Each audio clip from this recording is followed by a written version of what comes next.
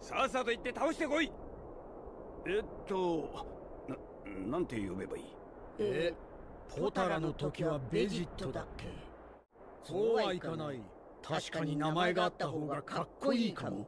今度はえー、っと敗北者じゃけ。こそ